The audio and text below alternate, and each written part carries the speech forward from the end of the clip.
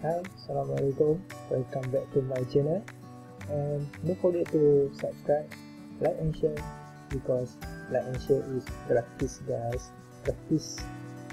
Today, I'm Muhammad Fazrul Fiti Zadirana from RSL 243B. Going to discuss about resource capacity theory. So, uh, we, what is resource capacity theory? The resource capacity theory is proposed potential limit where the result of the limited viability of resource.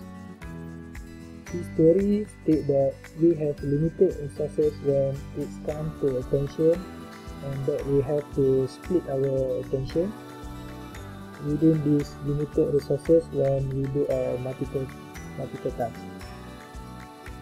And that if we do multiple tasks For example, if the first task is use more of resources and the second task is limited and can only use the remaining amount of resources.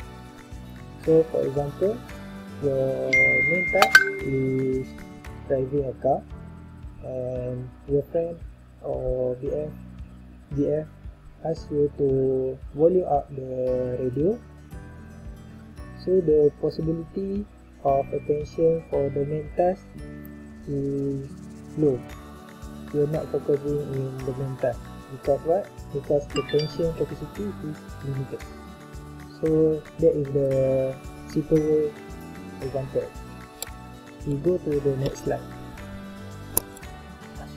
For the next slide, I have provide you a pie chart so from the pie chart as you can see the at the uh, at the left pie chart show that when you have a simple primary task you have more resources remaining for uh, the second task.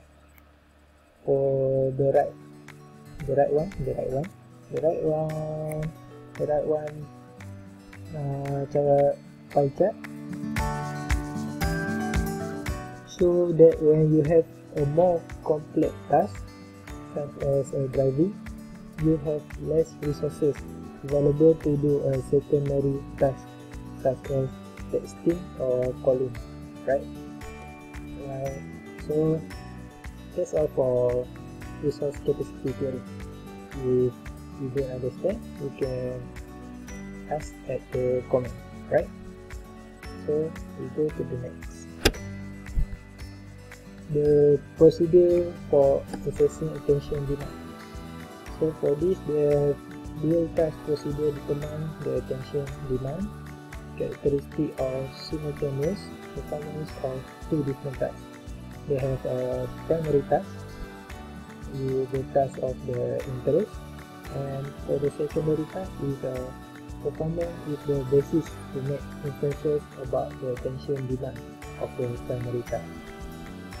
Dia have two tasks right for the next slide is a procedure for assessing attention demand.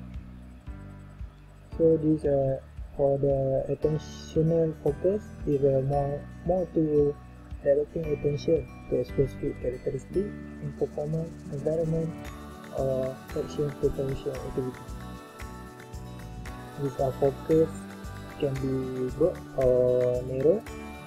Or direction of focus tension of focus can be external or internal. For the external switching they have two attention. The first one just now I said attentional focus. This one is attentional switching that can occur to achieve a successful performance but can have advantage and disadvantage depend on the activity. So that's all from me. And if you guys have a question or not understand or not clear what I'm talking about you can comment at my video. I will reply as soon as possible. And last but not least I hope you guys stay safe stay home and yeah stay safe and safe bye. Thank you